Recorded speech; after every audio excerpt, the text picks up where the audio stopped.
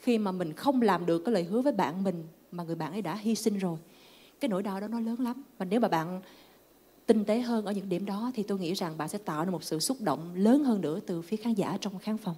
Chị mong rằng ở những cái phần tiếp theo thì em sẽ chọn những bài hát hợp với mình hơn nữa để đốt cháy ngọn lửa của mình.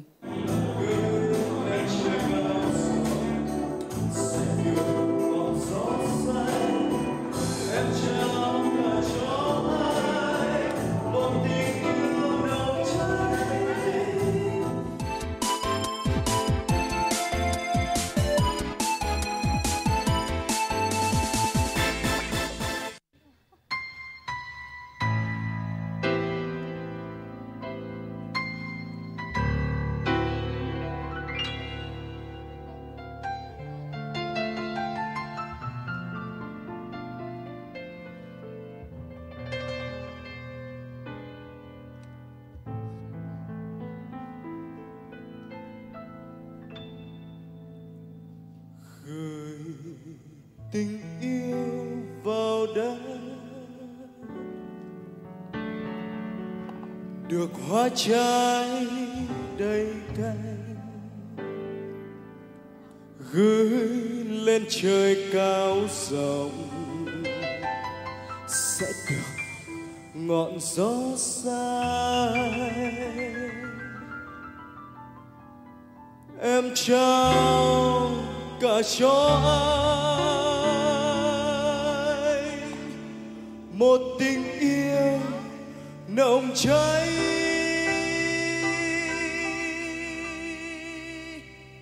Như một cánh buồm xinh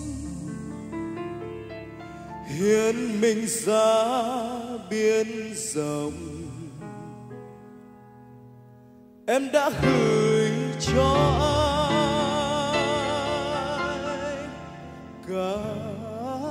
con tim sao dạt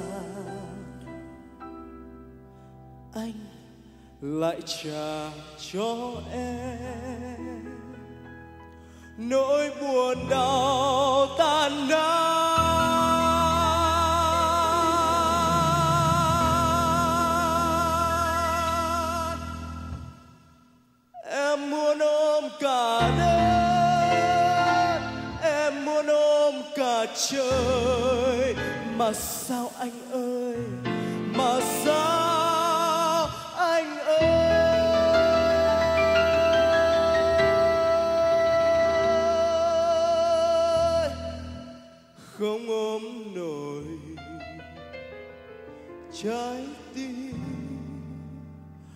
Một con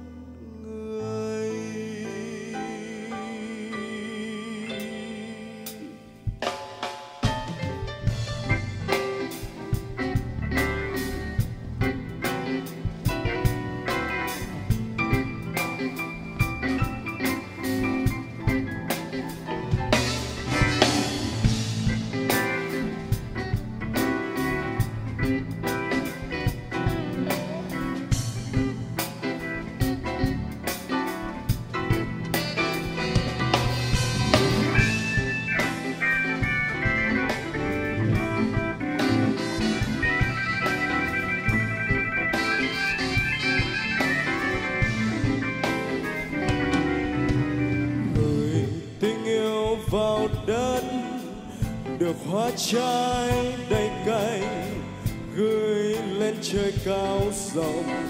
Sẽ được ngọn gió xanh, em trao cả cho ai?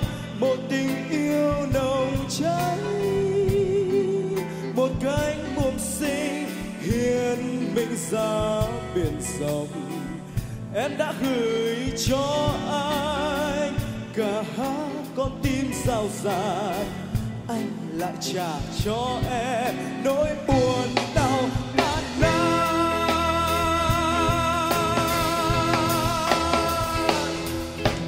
Em muốn ôm cả đất, em muốn ôm cả trời. Mà sao anh ơi, mà sao anh ơi?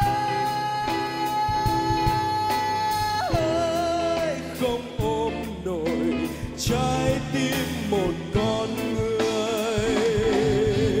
Em muốn ôm cả đất, em muốn ôm cả trời. Mà sao anh ơi, mà sao anh ơi?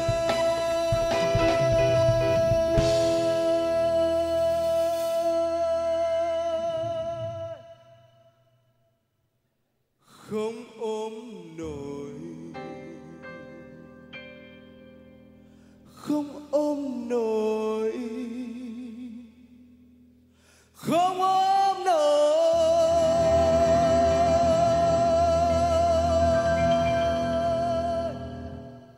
Trái tim. Một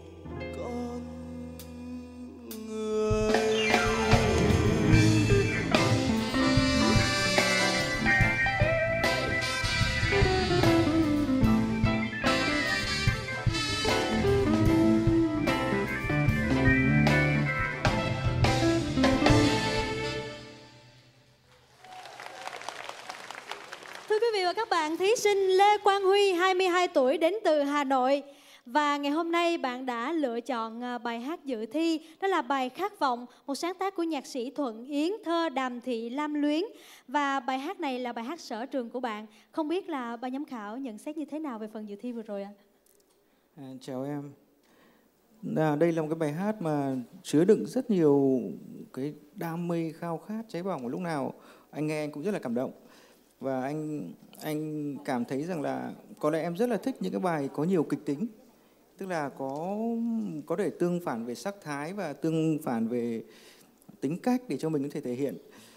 Um, em có một chất giọng rất là tốt và và anh không có bản gì đấy cả. Nhưng mà anh không nghĩ rằng là em chọn bài này là một một hợp lý không bởi vì là anh nghĩ là có thể em nên cần chọn một bài gì đó cũng dữ dội nhưng mà nó có nam tính và nó rắn giỏi hơn. Cảm ơn em cảm ơn anh ạ. Dạ. Thế còn à, À, thực ra chị à, chị sẽ không để chị Thanh Lam à, nói. Chị nói chuẩn đấy kìa. Chị bảo chị là chuẩn đấy. À, có một cái điều mà chị nghĩ là cả bằng này giám, bốn vị giám khảo sẽ cảm nhận đúng với cái cái cái mà chị đang sắp nói đây. Đó là em xử lý bài hát hôm nay nó hơi rời rạc một chút. Nhất là đoạn đầu, chị biết, chị hiểu được cái ý đồ của em, nhưng mà khi mình ừ, tạo một cái ý đồ nó quá phức tạp so với cái cái cái khả năng của mình, thì tự nhiên mình làm khó mình. À, đôi khi chị thích cái bài này và cái bản phối rất là hay. Ờ, khi mà mà vào cái rip thì chị thấy là chị muốn đu đưa theo nhạc, thì nó cần cái độ chị thích nó đơn giản hơn là cái cách em xử lý vừa rồi và nó sẽ tạo cái thiện cảm hơn. Bởi vì khi mình làm cái gì đó nó quá phức tạp mà mình làm không tới thì có lẽ là mình sẽ sẽ tự làm mình tự làm khó mình và tự làm mất điểm đi trước mặt à, trước mắt của bốn vị giám khảo và tất cả vị giám uh, khán giả ngồi ở đây. Chị nghĩ là nó hơi bị nặng nề một chút. Ờ, chị thích bài này em xử lý nó đơn giản hơn. Và nếu mà feel thì hãy để dành cho cái phần cuối bài. Ờ, chứ đừng ngay từ đầu tiên mình làm như thế nó hơi bị phí mà nó tạo cái cảm giác hơi nặng nề từ đầu đến đuôi. Chị cảm ơn em. Vâng ạ. cảm ơn chị ạ Xin cảm ơn nhà sĩ Lưu Thiên Hương và hy vọng là các bạn thí sinh của chúng ta sẽ ghi nhớ những lời nhận xét của ban giám khảo bởi vì đây là những cái kinh nghiệm rất là tốt cho những phần thi tiếp theo của tất cả các bạn. Và bây giờ chúng ta sẽ đến với số điểm mà ban giám khảo dành cho bạn Lê Quang Huy.